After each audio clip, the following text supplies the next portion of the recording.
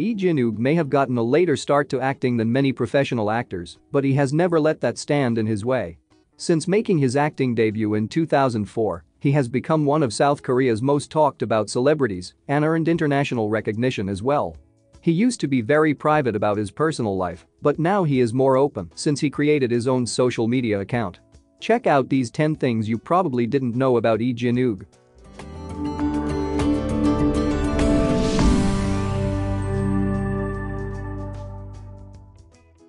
He studied environmental engineering.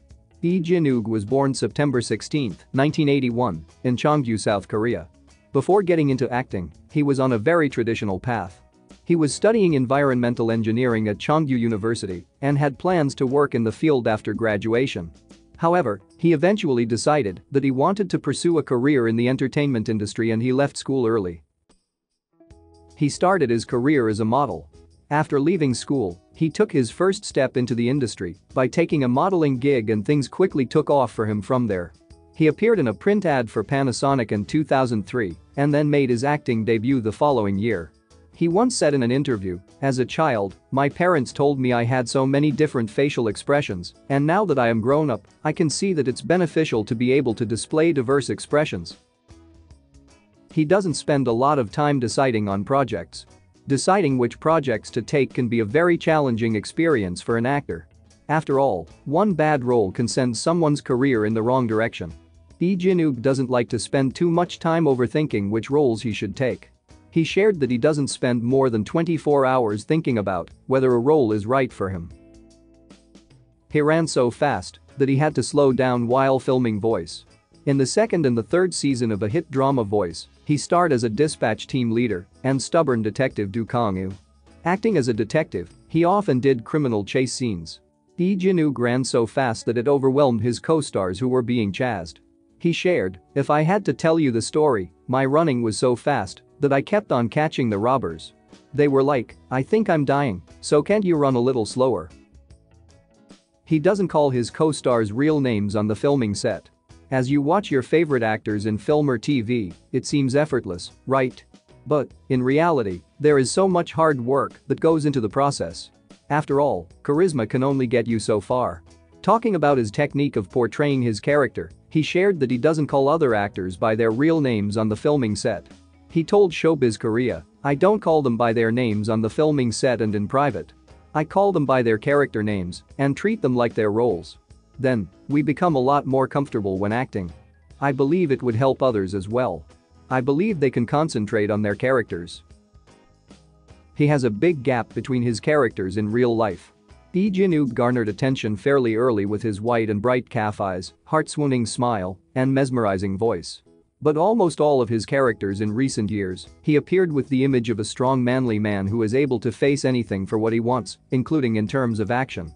According to his Sweet Home co-stars, Lee Jin-wook has so many gaps between his character and real life. They said that he is soft-hearted. Although he appears tough, he gets scared easily. Lee Si-young even mentioned while laughing, on the outside, he's an action star. Inside, he's a pathetic character from a romance movie. Lee Jin-wook also said that he hates scary things, so he doesn't watch horror movies. He has a collection of sneakers.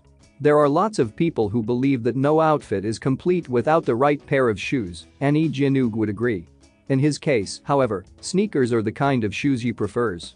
In addition to matching sneakers with his favorite outfits, he also has a pretty solid sneaker collection. He's a sneaker enthusiast he had previously posted an image of his impressive sneaker collection which became a hot topic amongst his fans.